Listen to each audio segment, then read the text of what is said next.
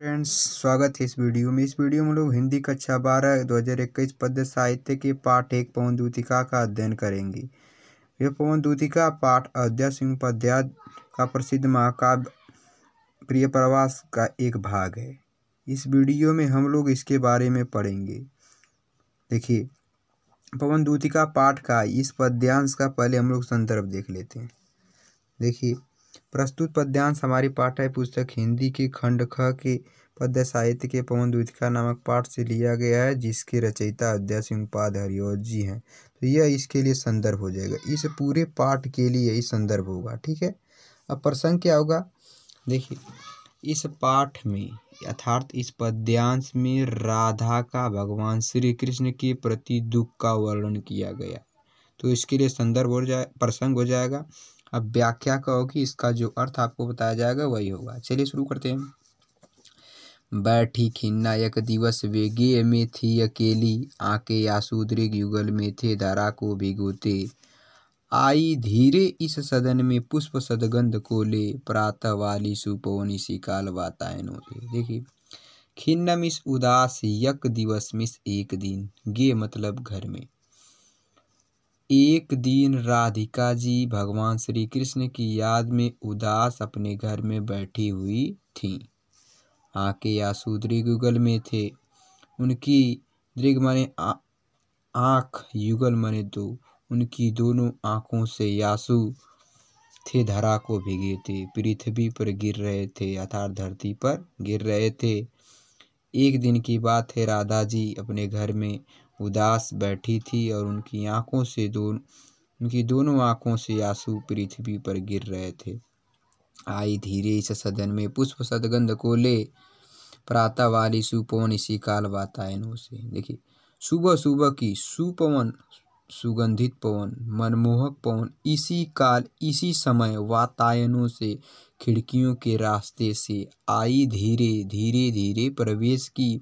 इस सदन में उस राधिका जी के घर में पुष्प फूलों की सदगंध, अच्छी सुगंध को लेकर पवन राधिका जी के घर में प्रवेश करती है। जिस समय राधिका जी अपने घर में उदास बैठी थी, उनकी आँखों में आँसू गिर रहे थे। संतापों को विपुल बढ़ता देख के दुहिता हो, धीरे बोली, सह दुख से श्रीमती राधिका, यूँ प्यारी प्रातः पवन, इतना क्यों है मुझे सताती? क्या तू भी है कलुषित हुई काल की क्रूरता से? देखी, संतापों को विपुल बढ़ता देख। राधिका जी का जब दुख बढ़ता गया तो वो कहती हैं, धीरे बोली सदुख, अब दुखी स्वर में धीरे से बोली उससे श्रीमती राधिकाओं।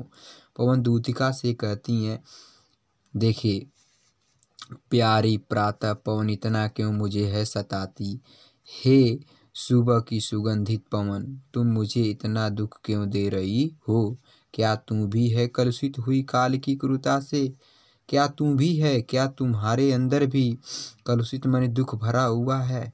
काल की क्रूरता से यानी समय का तुझ पर भी प्रभाव हुआ है। देखिए, अपने दुख को बढ़ता देख श्रीमती राधिका जी पवन दूतिका से कहती हे पवन दूतिका तुम मुझे इतना क्यों सताती हो? क्या समय का प्रकोप तुम पर भी हुआ है? क्या स, यह समय ने तुम्हारे ऊपर भी क्रूरता का व्यवहार किया है? ठीक है अब इसका दूसरा पद्यांश सब लोग देखेंगे। इसके लिए भी वही संदर्भ होगा प्रसंग भी वही होगा। ठीक है लज्जाशील महिला पथिक जो कहीं दृष्टि आए होने देना विकृत वसना तो न तू सुंदरी को।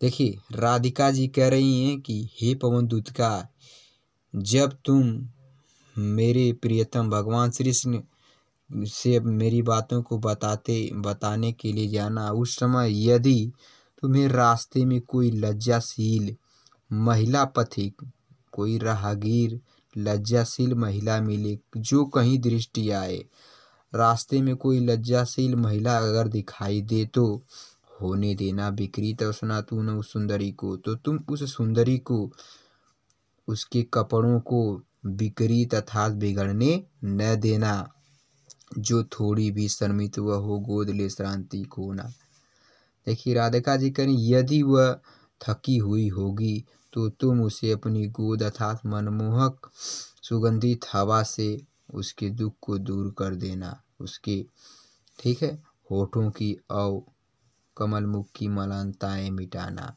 उसके होठों और कमल समान मुख की मलिनताएँ अर्थात थकान को मिटा देना और दूर कर देना। कोई कलांता कृषक ललना खेत में जो दिखाए।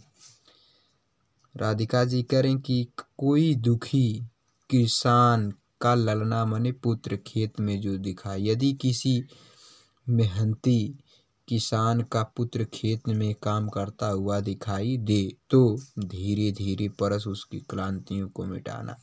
तो तुम उसके पास जाकर धीरे धीरे उसकी थकान को मिटा देना था दूर कर देना।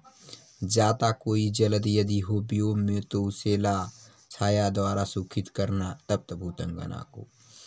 राधिका जी करें कि यदि जाता हो कोई जलद, यदि कोई बादल जा रहा हो, व्योम में तो उसे ला। व्योम मतलब आकाश में। यदि आकाश में कोई बादल जा रहा हो तो उसको लाना, छाया द्वारा सुखित करना और उस बादल को लाकर इस किसान के पुत्र को छाया द्वारा सुख का आनंद देना, तप्त भूतंगना को यदि किसान का बेटा गर्मी से परेशान है तो उसकी गर्मी को दूर करना और छाया प्रदान करके उसे सुख का आनंद प्राप्त करना। ठीक है दोस्तों, यदि यह वीडियो आपको अच्छी लगे तो आप लाइक करें, शेयर करें, कमेंट करें। यदि आप चैनल पर पहली बार हैं तो प्लीज़ इसे सब्सक्राइब करें। धन्यवाद।